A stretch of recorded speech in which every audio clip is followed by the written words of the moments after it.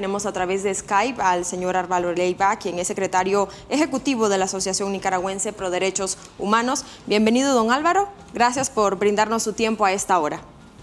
Muchas gracias, Canal 14, por darnos la oportunidad de estar aquí con su audiencia. Y la pregunta precisamente, don Álvaro, es ¿qué impacto va a tener esta reforma al Código Penal de llegar a ser una realidad?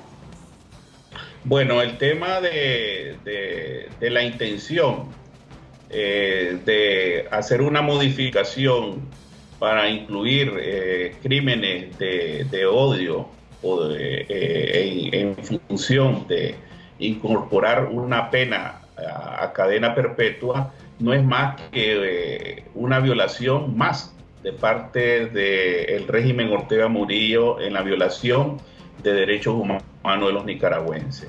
Eh, en Nicaragua hay que estar claro, ¿verdad?, de que los poderes del Estado no son autónomos en su decisión ni en su función y que desde hace un buen rato la institucionalidad se ha perdido y esto por ende deja la mano suelta a, Ortega eh, en una conducta protagonista de, crimen y castigo, eh, donde él eh, en su subconsciente clama por una justicia ante tantos crímenes de violaciones cometidas por, su, por el mismo gobierno.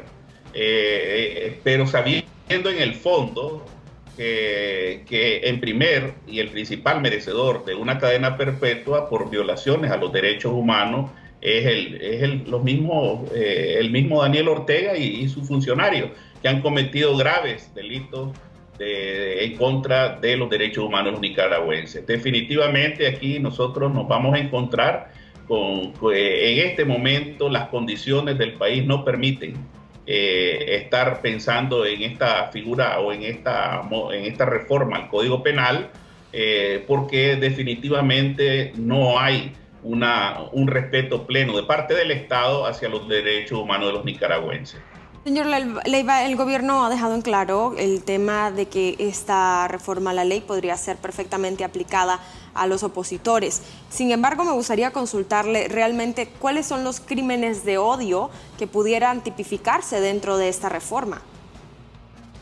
Bueno, eh, recordémonos de que hay una, eh, en este momento, los crímenes de odio que interpreta el régimen eh, son aquellos vinculados al, libre ejercicio que hacen los ciudadanos nicaragüenses en cuanto a sus derechos constitucionales, a sus derechos eh, civiles, a sus derechos políticos. En Nicaragua estamos claros que hasta el día de hoy no hay una libertad ni siquiera de manifestarse, no hay libertad de, lo que establece el artículo 25 de la Constitución, que es la libertad individual de, la persona para eh, expresarse, para eh, decir lo que a su criterio libremente sin ser reprimido.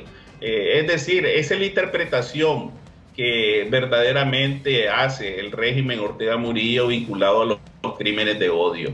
simplemente ejercer derechos ciudadanos para él representan definitivamente crímenes de odio y ahí es donde viene el peligro de la implementación de, de esta reforma que definitivamente no, no tiene ni pies ni cabeza, no tiene un asidero legal que motive eh, la implementación en este momento eh, de hacer una reforma al Código Penal. Por ende, tendría que hacerse una reforma a la Constitución Política y definitivamente no están dadas las mejores condiciones en cuanto a los derechos humanos para este tipo de situación. Eso Nosotros no... lo que... Sí, eso no, es constitucional no es constitucional en este momento. Definitivamente tendría que hacerse una, una, eh, una reforma a la constitución y definitivamente, eh, primero lo que debería de preocuparse el régimen Ortega Murillo el gobierno es en respetar y restituir los derechos humanos a los nicaragüenses. Eso es lo que debería de enfocarse en este momento. ¿Qué papel deberían jugar los organismos internacionales y también los nacionales en este sentido también?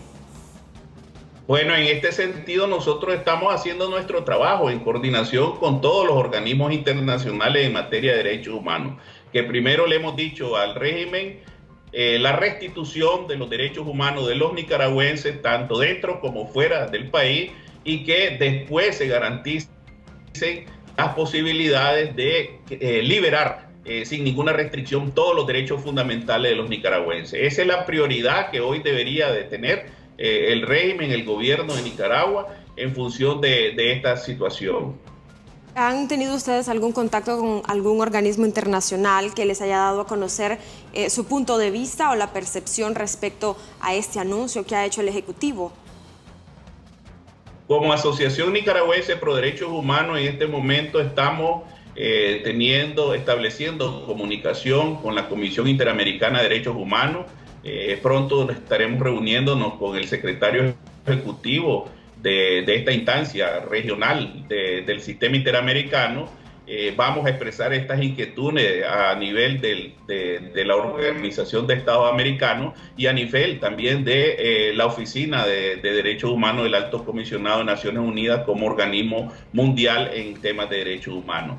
Eh, definitivamente el, discurso de, Ortega vinculado a, esta situación protagonista de, crear castigos para crímenes eh, sobre este tipo de situación no es el mejor momento porque ha sido señalado eh, él y su gobierno de violaciones graves, de, delitos graves en contra de los derechos humanos, delitos de lesa humanidad y genocidio viral que ha cometido en el ejercicio de su función pública.